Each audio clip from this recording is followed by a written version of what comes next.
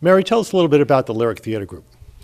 Lyric was founded in 1952, so this is our 62nd season. We're very proud of that. We've been in the greater Portland community uh, for decades. Um, we are a volunteer community theater.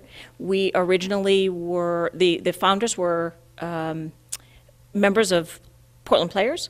And when Portland Players decided to focus more on plays than musicals, there was a group of very ardent musical fans that decided that they would like to produce musicals. And so Lyric has always had uh, as its mission uh, producing musicals.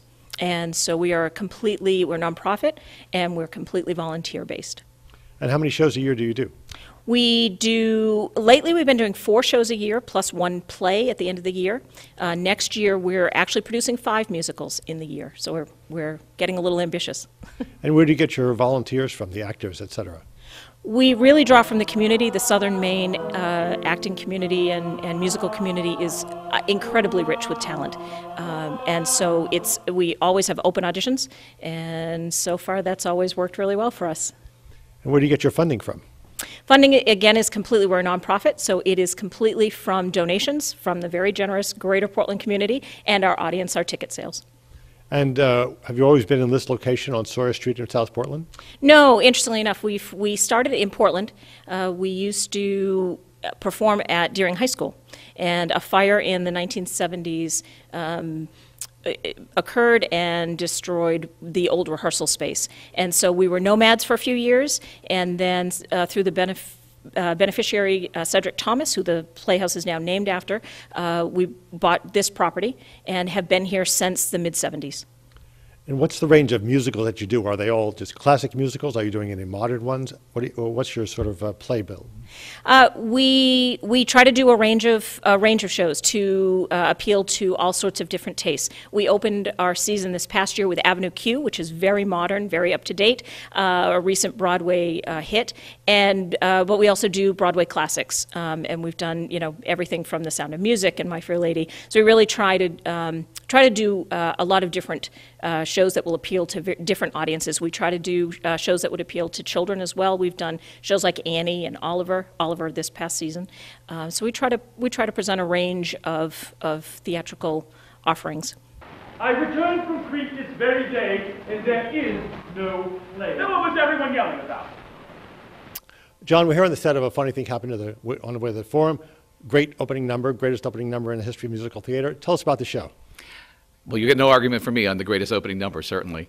The show is a classic. It's one of the reasons we chose this particular uh, this particular piece. We wanted to do something that was just fun. When jokes normally live maybe a week on the internet, these particular jokes have lived for 2,000 years. They're based on the on the on the uh, plays of Plautus, uh, an ancient Roman uh, uh, author. So I think it's, it, it, speaks a lot to the quality and the caliber, in addition to the fact that when it was created, they injected quite a bit of the vaudeville type humor, which I think just makes it a classic. It's got a lot of different elements. It's got the humor, it's got a good love story, it's got a good chase scene. Uh, tell us a little bit more. What's the show about if people don't know? Well, it's about a slave, Pseudolus, who wants to get his freedom. In order to do this, he has to find a way for his master, Hero, to get the girl, Philia. In between all this, however, there are a lot of other factors keeping him from that. And it's all about how Pseudolus copes from one moment to the next and always manages to proceed. It's, there's, I liken it a little bit to uh, Bugs Bunny and how he always manages to come out in front of Elmer Fudd. It's, it's got that kind of fun and zany feel to it. And it's, like you said, it's got a great love story, it's got the chase scenes, it's got just some, a little something for everybody. And do you think it still resonates with people? Do still, even younger audiences, they still find it funny, do you think? Well, that's a good question. We'll find out certainly, but I think it will. I think the humor is there. I think the characters are great. Uh, we have certainly tried to push the boundaries of it, and we're, we're playing it just as big as we possibly can. We want our actors to have fun, we want them to be challenged, we want our audiences to be challenged too. We hope that it's going to be one of those shows where if you blink, you'll miss something important. It's going to be that fast paced. And in the show, there's a lot of different things that happen all in different places, almost all at the same time. Is that difficult to stage? It's incredibly difficult to stage, and this isn't the largest stage in the world. So it's all about making it look bigger and working within the confines and making 18 people work on a set that's probably only about 25 feet across and maybe 20 feet deep. I, I think one of the selling points of the show is the Stephen Sondheim music.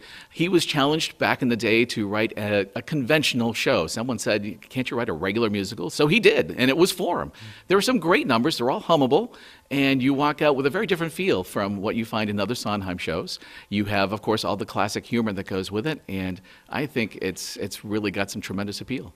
And if people want more information about the plays that are coming up, if they want to volunteer, if they want to donate, where can they go and get more information? Absolutely. We'd love to have more volunteers and more patrons in our audience. Uh, and they can go to www.lyricmusictheater.org.